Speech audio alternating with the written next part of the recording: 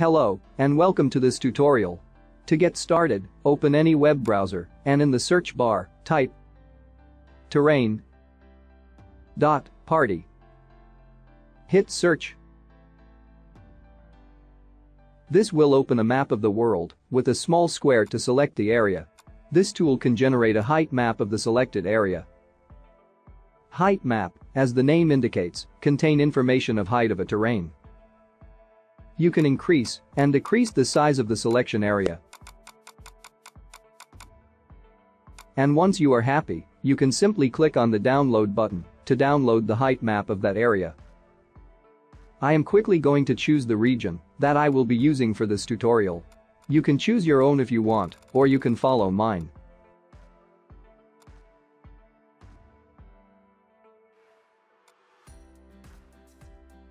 Once you have selected your region, click on the download button. It will ask you to type a name for the area. Choose any name for it. And click OK. It will then download a zip file. Proceed to unzip that file and open it. As you can see, it will have four different types of height map. You can read the information in this notepad about all these four different types of height map. In short, it recommends using the one with merged in its name. I also find it the most accurate, and we will be using this one for this tutorial. Now that we have the height map, it is time to start 3ds Max. In 3ds Max, start by creating a plane. Go to the Modify panel and adjust some of its parameters. Make sure to keep the length and width same to keep it consistent with the resolution of the height map. Also, for a terrain to be realistic, the segments number should be high as well. Here are my values. It is always a good idea to move your object to the origin position. Now, with the plane selected, open the modifier list.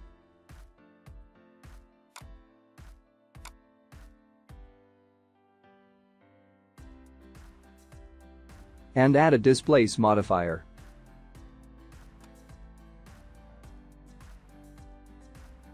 Then, click on the None button under Bitmap. Select the height map with merged in its name that we have downloaded earlier. Now, increase the strength to whatever you like. I have increased the blur as well to make the terrain look a bit smooth. You can use these values. We have now got a fairly good looking terrain from our height map. The next thing to do is to texture it. So for that, open the material editor. Then, double-click on the standard in the material list to create a standard material. If you double-click on this newly created material, its properties will appear on the right side of the material editor. To apply this material to our terrain, select the terrain first.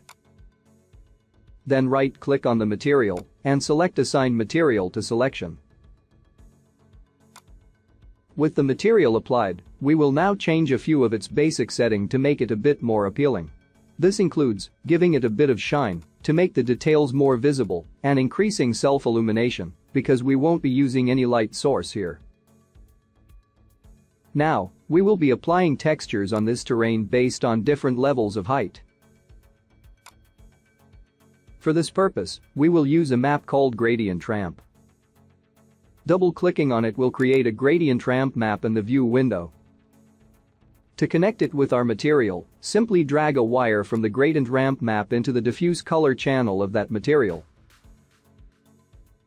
Double-click on the map to view its parameters. In the parameters, the first thing you might want to do is to change the gradient type from linear to mapped.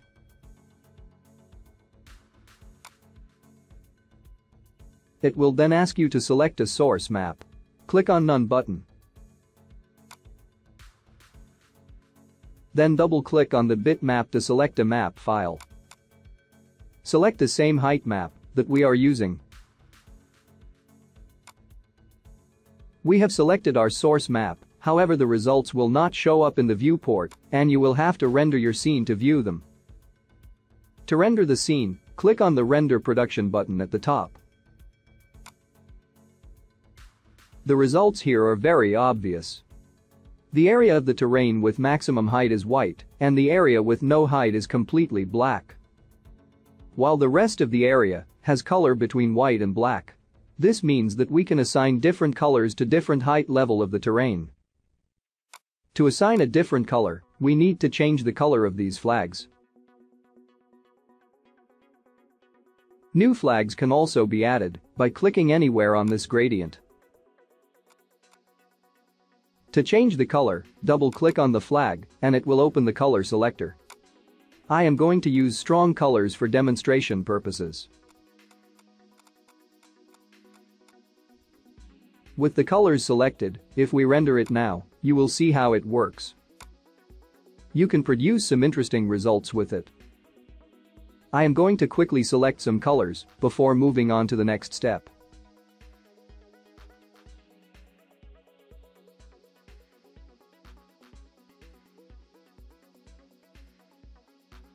As you can see, I have selected some relatively realistic colors for my terrain.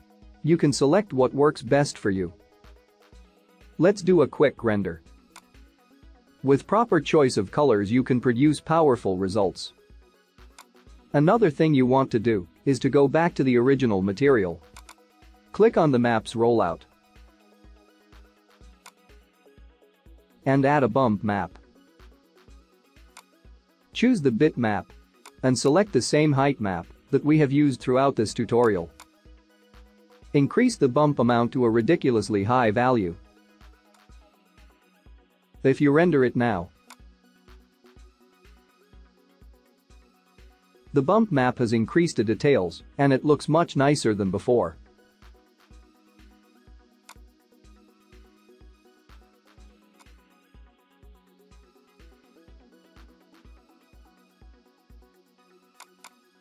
Another thing you can do is add textures to each of these flags. To do that, click and drag the bitmap from the maps list to the view window. It will immediately ask you to select a texture from your computer. I have downloaded a few textures to choose from. Once you have selected a texture, attach it to a flag of your choice. In my case, I have chosen the first flag, meaning that the area with zero height will have this texture. I can confirm this by doing a render. Right now the texture has to be scaled down. You can double-click the texture and increase the tiling amount from its properties.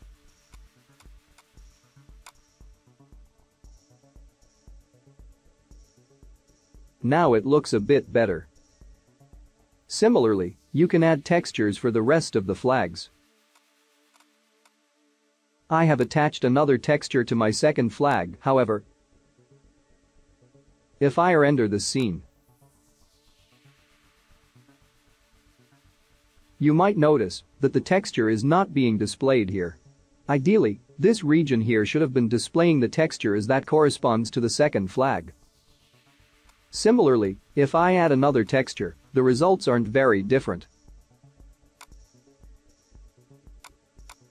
This is because the flags here depending upon how you have created them may or may not be arranged according to their names. Which means that this might be flag 1, however flag 2 might not be the second one. To get round this problem, simply right-click on a flag and select Edit Properties. Here you will find the correct name of the flag. As you can see this is flag number 4, despite it being in the second place.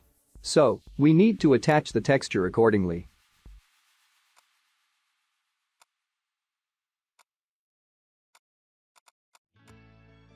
Now with the textures attached to the correct flags, let's do a quick render. As you can see now, there are some definite changes to our terrain. Let me take a minute to attach proper textures to each of the flags.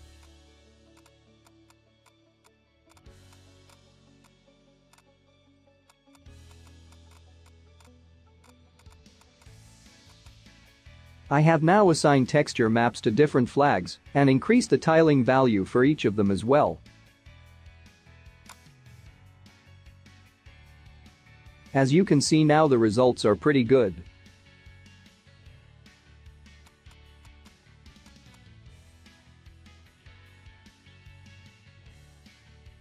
To further improve the results, I am going to quickly create water around the island. For the water, I won't be using any fancy tricks, since this tutorial is not about that. Simply create a plane of the same size as the terrain and set its proper location.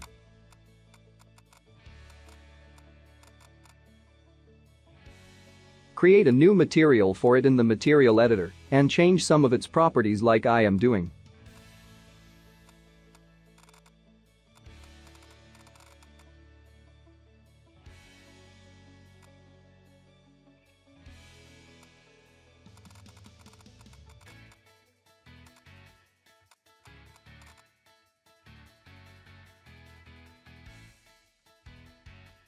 For the waves, I am going to use a simple noise map as bump.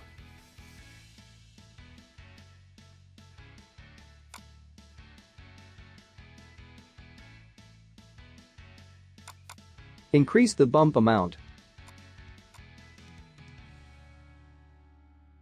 And in the noise map parameters, increase the X and Y tiling as well.